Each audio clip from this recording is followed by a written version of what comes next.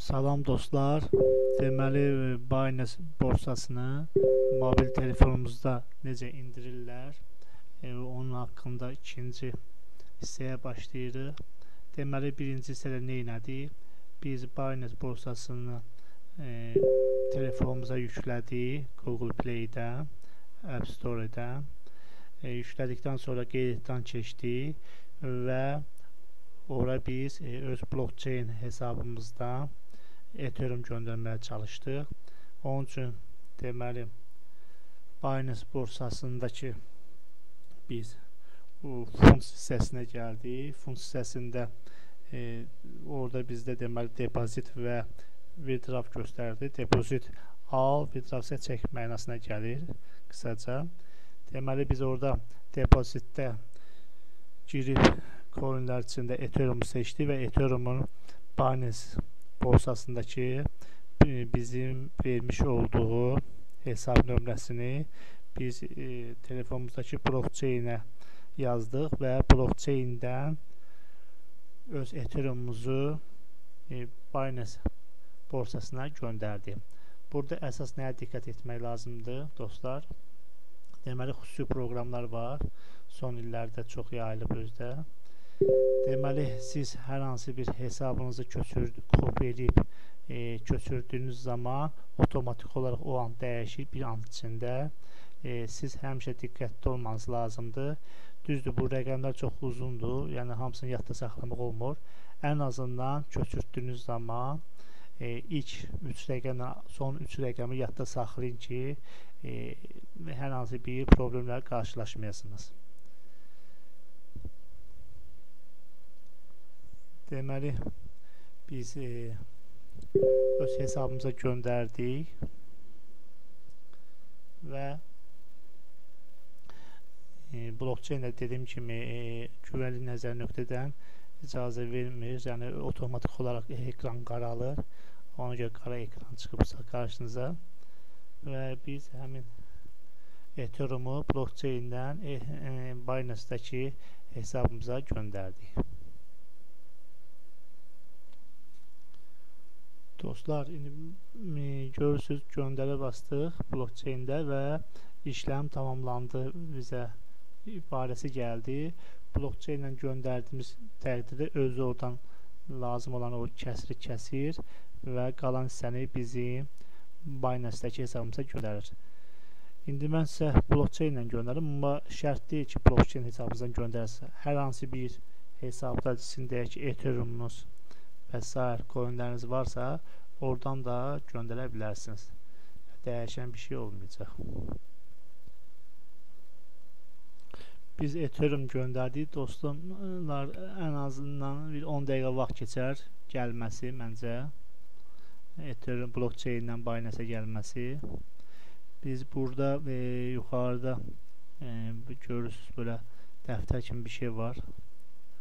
Sağ tərəfdə. Ora bastığımız zaman burada göstərilir ki e, artıq bizim hesaba keçib görürsünüz burada 2 drop 30 yazır.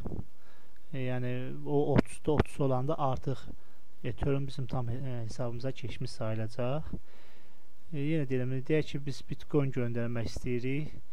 E, eyni sistemdir. Yəni bütün coinlər üçün depozit, depozitə gəlirik. Və burada coinlərin içində BTC yazırıq. BTC çıxdı. BTC burada Binance-dəki hesabımızı götürürük və hangidan göndərmək istəyirsə həmin yerə veririk və ya ora axtarırıq. Qutarı getdi. Yəni sistem eynidir. Bu 30-da 30 olunca dostlar gəlin mən sizə proqram digər xüsusiyyətləri haqqında da biraz məlumat verim. Ee, onun da olması arası bir 5-10 dəqiqə vaxtımız alacaq. Deməli, home-a girdiyimiz zaman, ən aşağıda solda home-a, e, burada e, yuxarıda reklamları görürsünüz. Reklamlar belə keçirə bilərik tez-tez. E, bu reklamları oxuyun. Burada vacib elanlar verilir. Ondan sonra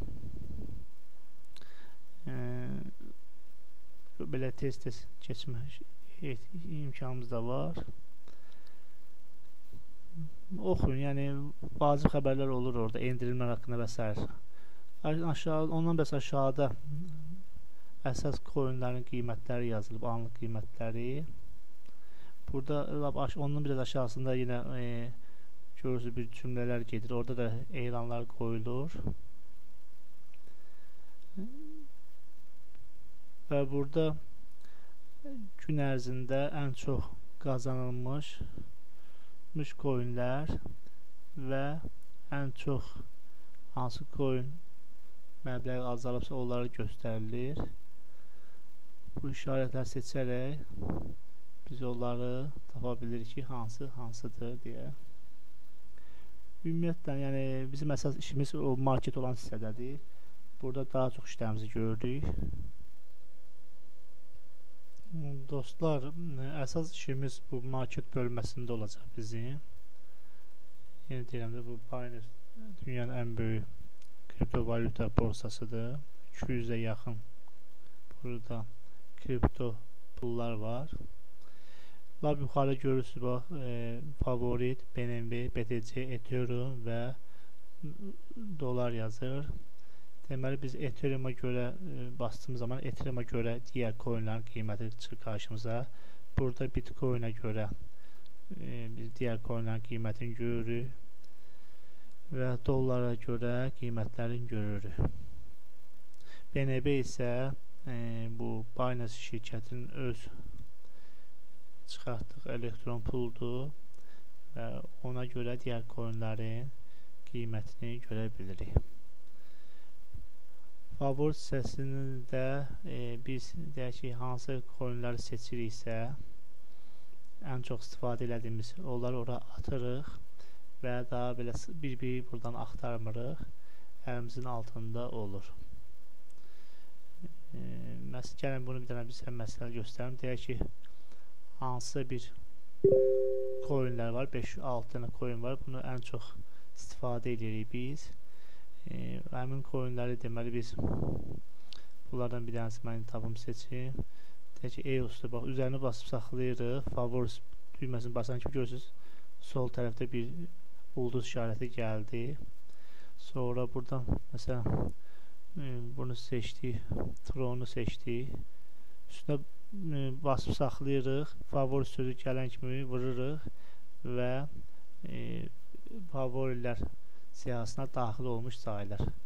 Belə 3-4 dənəsini seçdikdən sonra artıq bunlar bizim favori siyahımızda var. Daha 200 coin axtarmaq yerinə o 5-6 dənə coini tapmaq bizim üçün daha rahat olur.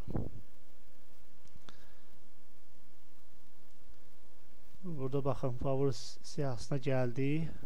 Seçdiyimiz əsas coinlər burada var. EOS seçdik, Tron seçdik və digərləri burada hamısı rahat tapa bilirik. Baxın dostlar, burada e, sağ tərəfdə bir işarət var. Bu 24 saat içində ən çox gəlir gətirən və e, düşən, qiymətlər düşən coinlərdir. Digər tərəfdə ortada ən düşük dəyəri və ən yüksək dəyəri olan coinlər yazılıb. E, deməli, burada ən aşağı dəyəri olanlar və aşağı doğru getdiyimizcə yüksələn, ən çox yüksələn coinlərin qiyməti göstərilir. Digər tərəfdə isə e, ən sonda solda üçüncü siyahıda Deməli 24 saat ərzində ə, hansı pro proyektlər həcminə görə daha çox satılıb və ya az satılıb, onlar hamısını biz buradan görə bilirik. Deməli birinci və ikinci e, home və market haqqında bu qədər. İndi isə keçək üçüncü hissəyə.